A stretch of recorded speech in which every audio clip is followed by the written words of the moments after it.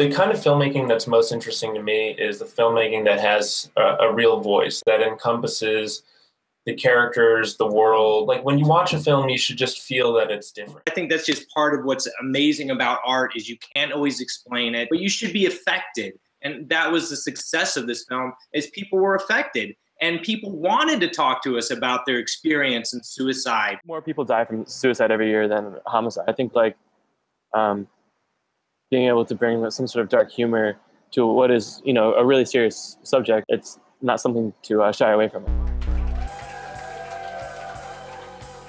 Hey guys, thanks for tuning in. Play It Forward is brought to you by Digipops TV, a community platform being built to put film and filmmaker recognition in the hands of filmmakers and fans like you. If you'd like to promote our work, please share, like, comment. It makes a difference. Thank you.